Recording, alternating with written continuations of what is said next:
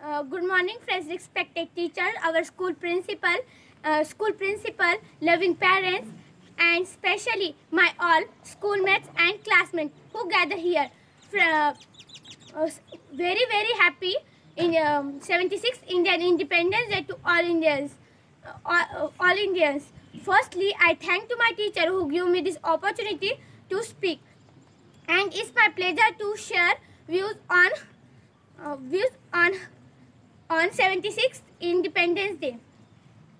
So, uh, so friends, we all know that exactly on this day, our uh, our co- our country, our independence uh, for uh, from the clutches of British who ruled India over 150 years.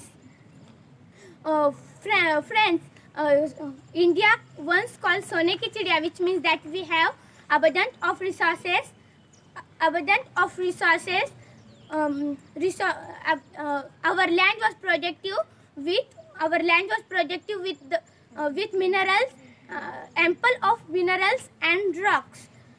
We have we have we were home the largest spice market largest spice market we also have we also have we also have human workforce uh, that uh, that way the uh, british government capture our country uh, capture our country uh, cap- uh, capture our country and uh, use uh, for uh, their own benefit